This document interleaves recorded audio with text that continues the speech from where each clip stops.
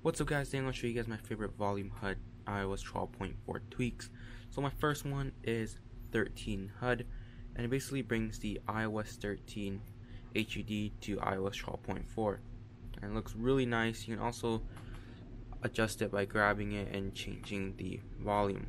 It also comes with some settings right here. You can change the padding, custom height, timeout, collapse timeout, and high ringer. So whenever you change the ringer, nothing pops up. But if you have that off, that will pop up. So looks really nice, and definitely I'll leave the repo down below in the description. Next tweak is Melior, and I also have the repo link down below in the description.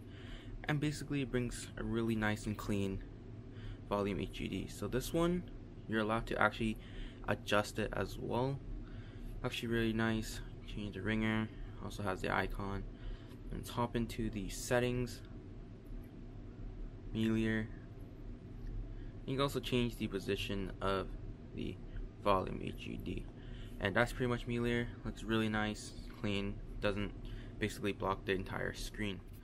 This tweak is Sonus 12 it is a $1.75 tweak.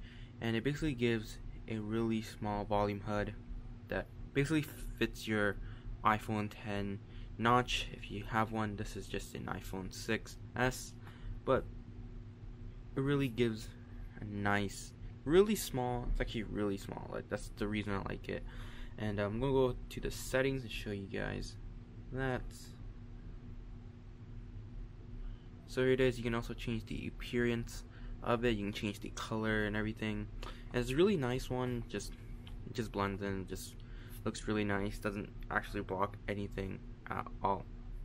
The last and final tweak is video HUD and it's just simple simple volume HUD and you can't really change it at all. You can't slide there's no settings in the settings application. It's just a volume HUD that just goes in the corner and it will not block your screen. Anyways, that pretty much wraps up my four favorite volume HUD tweaks for the iOS 12.4 and anyways, thanks for watching. Hope you guys liked that, and I'll catch you guys in the next one.